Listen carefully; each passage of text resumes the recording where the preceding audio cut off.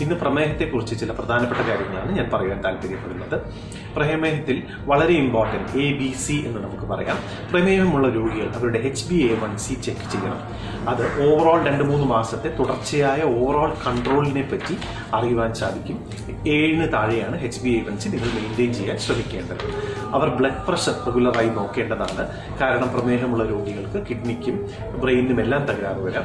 അവർ blood pressure ഉണ്ടോ എന്ന് നോക്കി ബ്ലഡ് പ്രഷർ നൂറ്റി മുപ്പത് upon eighty one thirty bar എയ്റ്റിയുടെ താഴെ നിർത്തേണ്ടതാണ്.